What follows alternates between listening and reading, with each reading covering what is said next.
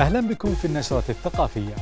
أطلقت دار السوليين للنشر بالتعاون مع هيئة البحرين للثقافة والأثار كتاب الحرف البحرينية بحرين كرافتس ويأتي إصدار الكتاب تأكيدا على أهمية الحفاظ على الإرث الثقافي البحريني كما يهدف إلى إلقاء الضوء على جهود إحياء الحرف التقليدية في مملكة البحرين في بيئة تجمع ما بين الحرف والفن والتصميم. مما يسهم في توفير فرص الإبداع والتنمية ويسرد الكتاب حكاية الحرف التقليدية البحرينية في أربعة فصول رئيسية هي الحرف المرتبطة بالبحر والحرف التي تمارس على البر وحرف الزينة وحرف المناسبات والاحتفالات. ويحتوي الكتاب على مجموعة من الصور التاريخية والصور التي تم التقاطها حديثا لصنع سرد مميز يروي قصة الحرف بين الماضي والحاضر. أقام نادي الخريجين مؤخرا معرضا فنيا بعنوان معرض إبداعات فنية وذلك بحضور الشيخ راشد بن عبد الرحمن بن راشد آل خليفة محافظ محافظة العاصمة.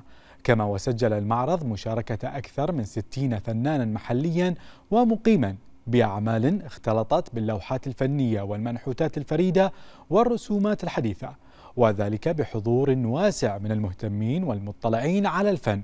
كما وتضمن المعرض تكريما للقامات الفنية البحرينية التي التي تركت بصمة واضحة في عالم الفن البحريني بمختلف مجالاته. طبعا معرض إبداعات فنية هذه أول مرة نادي الخريجين يقوم بها وإن شاء الله بيكون بشكل دوري كل سنة بنسوي نفس التكريم ونفس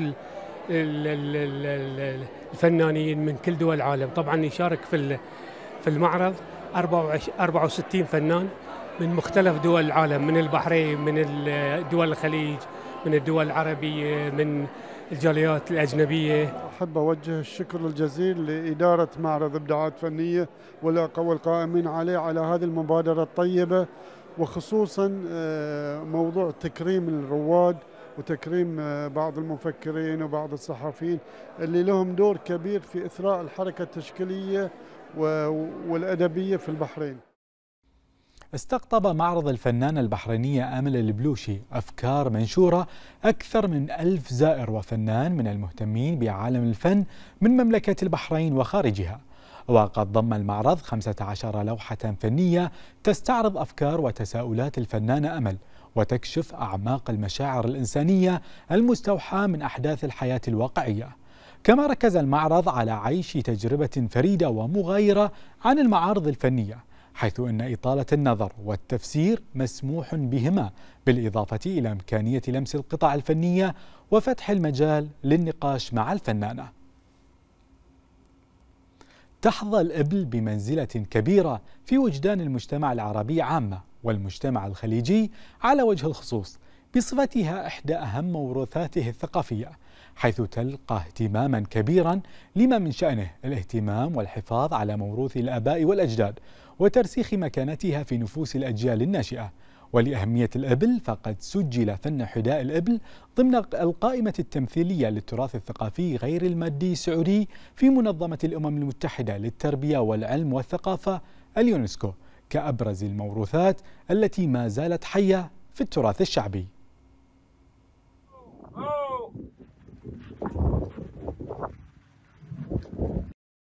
حضرت الإبل في حياة إنسان شبه الجزيرة العربية منذ فجر التاريخ ولم يستغني عنها حتى اليوم.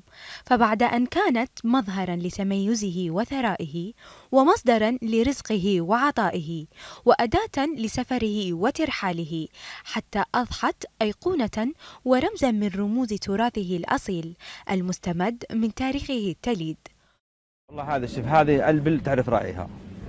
تعرف رأيها البل وتعرف صوته. لما تكلم لها تجي على طول. هذا يعني سبحان الله العظيم. الابل فيها ميزات غريبة ترى. غريبة. ذكرت في القرآن. فحنا محب الابل إحنا متوارثينها. أب عن جد عن جد عن يعني ممكن ألاف مئة سنين. عرفت؟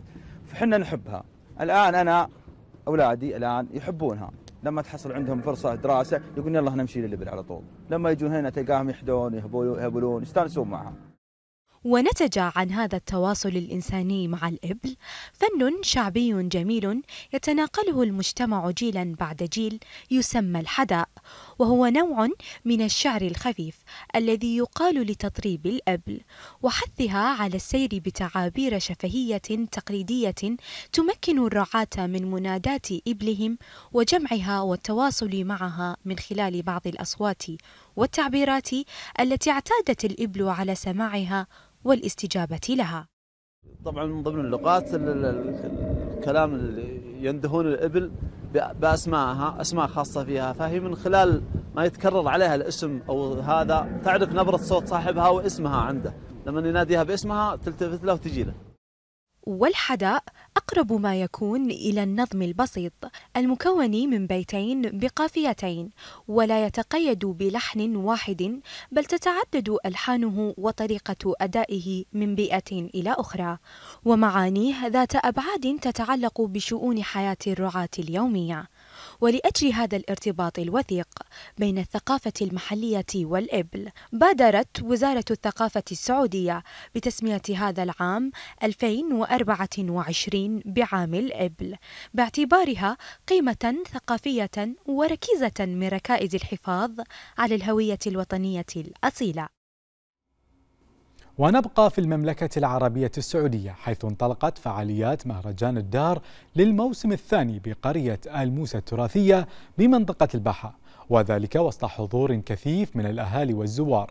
كما يستمر المهرجان لمدة عشرين يوما ويتضمن متحفا ومجلس للضيافة وقسم النساء ومسرح الفعاليات ومواقع الأسر المنتجة والفنون التشكيلية وألعاب الأطفال.